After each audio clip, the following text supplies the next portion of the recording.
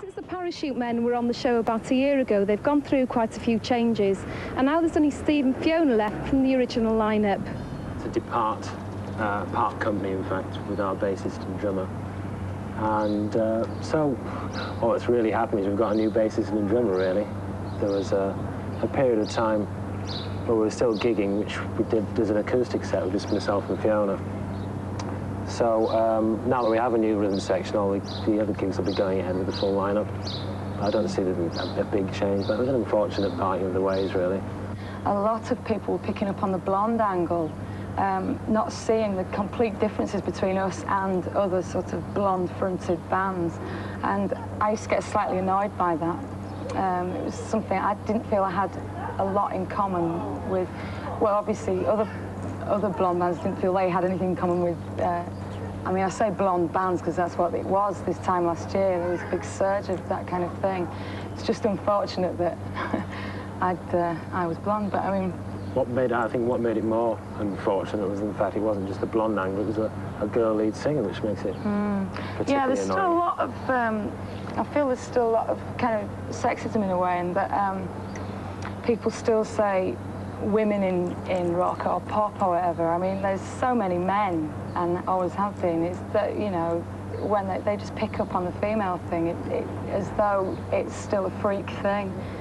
And that seems to be a lot of what's happened to us. It's just, it's, it's not so anymore. I think we've sort of, like, established that now, got ourselves established that way. But, uh, yeah, the, the blonde angle was a bit annoying last year.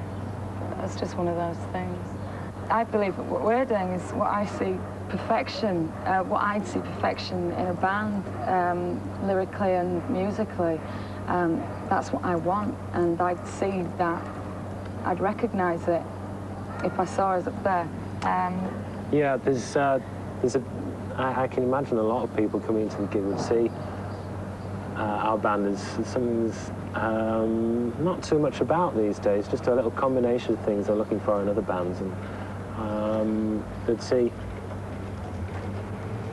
I think they'd see a band that bridges a gap between, I think, what has become really polarized these days, which is the polarization of like, you're either a pop throwaway thrashy band or you're a, you're a serious art rock band, and there's not too much of a, a crossover. So uh, there's a lot of people who come into a gig and say, oh, yeah, that kind of band, that's really good. I'm glad there's a band like that.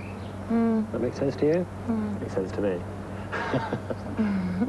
I think people underestimate us. They tend to think we are a little naive, and uh, I mean, obviously, we want a certain amount of fame and things.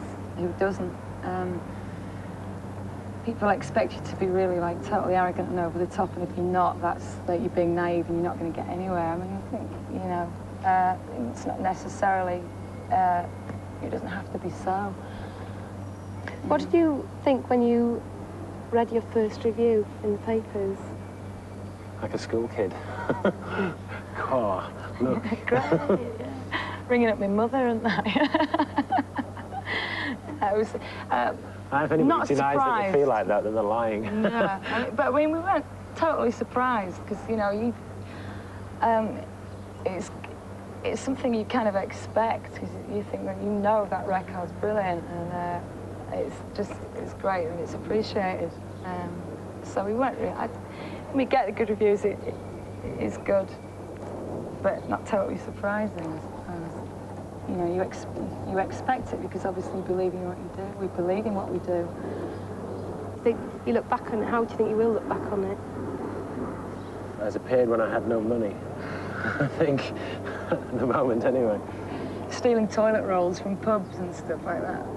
Being large riders. Oh, I remember that gig. Yeah, we got a really good industrial toilet roll from that one. That's it, yeah. it's very fashionable at the moment to be ecologically aware.